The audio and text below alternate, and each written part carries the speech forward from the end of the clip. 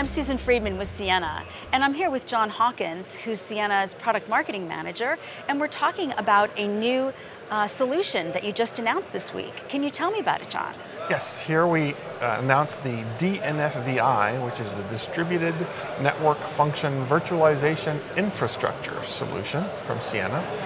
It consists of several uh, components, several parts. Uh, one, a new piece of hardware called, called the 3906 MVI for Modular Virtual Infrastructure. Uh, the 3906 is a 6 gig uh, Ethernet switch that joins our uh, already rich uh, Ethernet switching family, but it adds to it a modular field replaceable server unit which can accept uh, uh, virtual functions like a firewall, an encryptor, uh, a virtual router, any number of functions that the industry is, uh, is clamoring for right now in a virtualized software fashion. Which leads us to the second element of the solution, which is the operating system and the uh, virtual switch that lives on that server uh, to accommodate those virtual network functions. we call that just the DNFVI software. Uh, and it is uh, containerized, modularized, so that uh, a, a, provider can pick and choose the parts of the solution that uh, they are interested in, combine it with other uh, industry solutions if they like in a very open fashion, uh, and put together really the best in class answer to their particular challenge third element of the solution is one that's already well known, which is the Blue Planet uh, orchestration, um, uh, uh, multi-domain orchestration suite of software. So it orchestrates the distribution of these virtual functions across not only a Ciena domain, but any other domain that might exist in the network operator's environment uh, anyway. So it stitches this all together. Uh, and then finally, we've associated that with a series of professional services that uh, offers our customer the opportunity to uh, use our expertise to plan, engineer, deploy, even operate and uh, maintain their service on an, on an ongoing basis. So it's really a multifaceted, very uh, uh, rich uh, answer to the distributed NFVI challenge that is out there. So it sounds like this combination of systems, software, and services is really giving the service provider and the user a lot of choice. That's right. It's really about options. It's really the, the, the industry is moving toward a more open environment where you do not have to lock into one vendor's solution.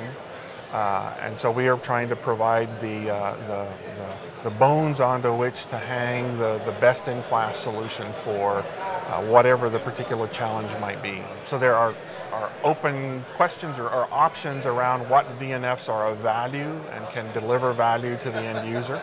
So there's a mix of uh, opportunities out there above and beyond just the basic connectivity, which is what we normally uh, specialize in selling, which is connecting points A and B and C. But uh, in addition to just connecting those points now, we want to add, uh, add or layer on top of that additional services but in a virtualized manner with no truck rolls uh, and, and with a lot of automation to bring down the cost of those managed services. So it really is about building a framework onto which to offer any number of, uh, of options to our service provider customers. And could you just unpack it a little bit for me and, and describe for me what is DNFV? So NFV is the network function virtualization concept that is really uh, caught fire in the industry in the last uh, couple of years, which is uh, replacing individualized one per box functions uh, with virtualized versions thereof that run in software on a more generic processor. That's the point of the 3906 MVI processor module. The distributed part, the D in the acronym, comes from the fact that many of those functions belong out on the edge of the network.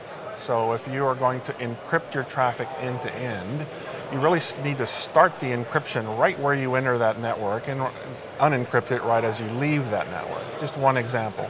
Security functions, if you're trying to build a firewall, um, if you want to make the, uh, the WAN link, the last mile, sometimes it's called, uh, more efficient by either compressing that data or using some algorithm to mirror cache some of that data those functions belong out on the edge of the network, hence distributed. When you do that, you incur some challenges. Uh, the edge of the network is sometimes not as well behaved. Uh, so you need to have uh, uh, strategies for protecting that part of the network, for making it reliable. Uh, sometimes it is uh, a smaller pipe than the core of the network, so you need to make better use of that by maybe compressing your data or doing something innovative around the use of that WAN link.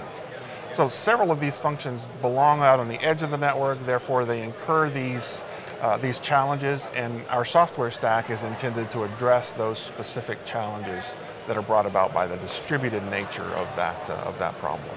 Excellent. Well, thank you so much for sharing your knowledge. Um, I really enjoyed this conversation. Thanks, John. Thank.